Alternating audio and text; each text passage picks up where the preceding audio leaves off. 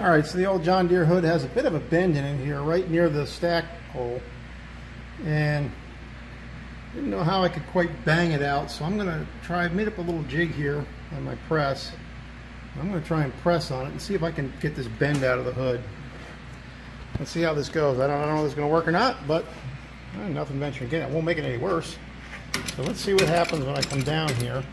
Oh, the first problem is I'm already underneath here. Hmm. That could be a problem. I don't really want to be putting pressure on it here.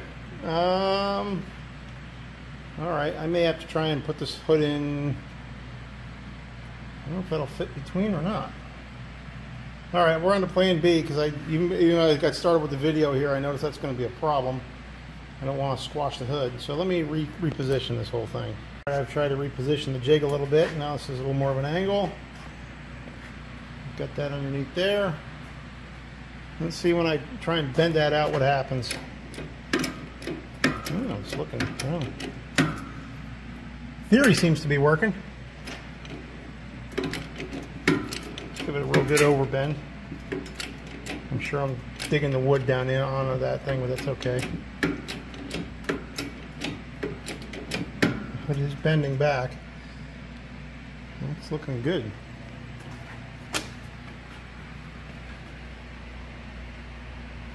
It's already better.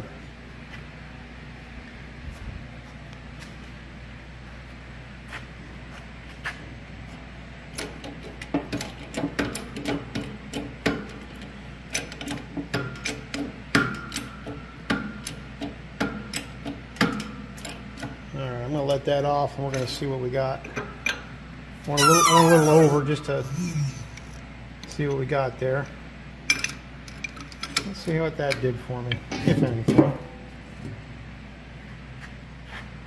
there's still a good bend in it. I really would like to get something right on this spot right here with pressure under it.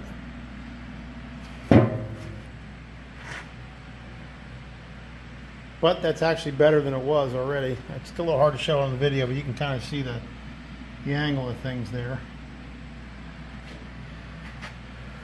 Alright, I'm going to play around with some angles here and see what we can come up with. Well, I ended up going with blocking it up with some wood and getting the old hammer out. It's not 100% perfect, but it, it's a lot better than it was. It's, it's reasonably straight now. Um, so at least, at least that should, should help. So my cork liner fell off, which I'm not really surprised at, but it's not broken. So I'm going to, I'll clean this up and scrape it down. I got some Super 77 and I'll, uh, I'll go ahead and, and, clean the metal put it back on. Then I'll see if I can find another strip of something about that thick for the other side. Never did have it.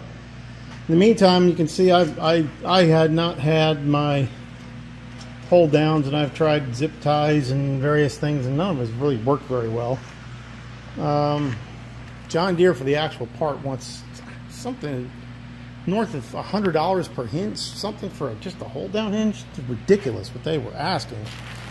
So I went to, yeah, I went to McMaster-Carr and I got these hinges that seemed like they measured close to what the originals were. I don't really know. I won't know I get them on. But I'm going to see if I can get these put on somehow and, and, see if I can make them work. I'm not quite sure how I'm going to attach them yet. Um, I didn't really want to drill holes and put bolts in, but that may be what it's coming to. And, and I guess actually, now that I'm thinking about it and looking at this, if I've got to drill holes and put them on in this spot, I may... I was going to do this here before I put the hood on, but I might want to lay the hood on there, see where these line up and put them up just a little bit higher and then, then maybe I'll just drill the holes and we'll put something on and see if I can get uh, get something that works. I think these, I don't know what I paid for these anymore. I don't even remember. I don't know if the, the packing slip's in there. Got them quite a long time ago. Packing slip. There's the part numbers if anybody cares. Um, I got another hinge. Those are hold downs. So I don't know. So I should have four of these. One, two, three. Yes, I do have four of them. So I have four of them. They came with hold downs. I don't know why I bought another set of hold downs. I don't remember what they were. I don't remember what they were. They, they were not. They were like five bucks a piece or something. I think it was something. You know what I would, would expected, five or ten dollars a piece or something. Certainly not what John Deere look, asked for. So I'm going to see what I can rig up and um, we'll put that on. So I guess next I'll just Super 77 reglue that on and then, I, then I'll take this over and see what kind of fitting I can do. Well, I just realized if I extend out this pin, can't see much because of this anyway, there's a slot at the top here and these have a head on them I could slide them in there. I didn't want to take these off unless I had to bolt something, but I actually got those in there. I think I'm going to try that first. That's going to be the first thing I try. See if I can make that work. I mean, I I don't want to cut this off in case, just in case I had to bolt something, but uh, I can at least check and see if this is going to fit and if it works. I don't even know if I need this bolt because I'm kind of going past it. That was just something I put in for these. Um, but that seems like it's going to work. So I'm going to cut these old wire ties off. I'm going to put these on and keep my fingers crossed. Maybe this will work. Be, a, be an easy project for a change. Well, I didn't have another nice cork liner, but I did have a bungee. So I got the cork liner on the one side. I'm going to put the bungee in on this side, just so it doesn't vibrate. That cork is in. I'm going to put those in, and we're going to see if this fits. So let's give it a shot. I didn't have any good way to film it while I was just setting this hood on, which is now on. Um, earlier today, I went and straightened out a lot of the bends in this hood, and I think I got the absolute worst of it out, and that really helps. Uh, the best news of the best news, my spring hooks from McMaster-Carr worked perfectly. This hood is, is that's the tightest it's ever been since I've been here, so maybe these won't be rubbing on here anymore. Uh, but they worked out exactly the way you'd want. I didn't have to do any kind of modification or anything. I just used them. So those part numbers definitely work. If anybody's looking for them, um, I did put them in, did take a picture of it in my last, uh, my last video. Uh, but definitely way more cost effective than anything you're going to get from John Deere. Um, and they work great. That hood is on there good and tight. Doesn't rattle. And I got my, my little gasket in there. Looks good. Now all I have to do is deal with the stack. That's fantastic. Now I'm going to get ready to, to do some more hydraulic lines. Um, this was actually a replacement I got, but I, I look at it and yes, the, I don't know. If I'm replacing lines, I'm replacing lines, if you know what I mean. So I got the, got the bucket braced up. Um, I'm going to go ahead and replace these two, or at least this one anyway. This one looks pretty good. I may leave this one alone. I'm going to at least replace that one. Take my cover off put this, gonna lay this hoe out next, um, and get ready to do our, get ready to do our next thing. In fact, I might as well go ahead and start this up. Kind of wanted to get the hood on there just to keep some of the rain off of the, the engine. Let's go ahead and light her back up.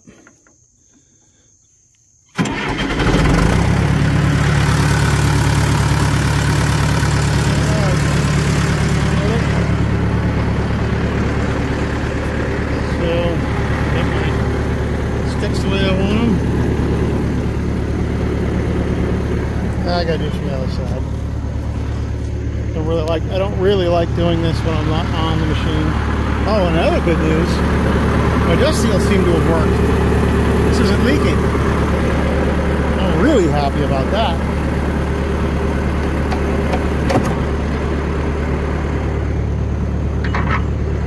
Alright, so the pins out.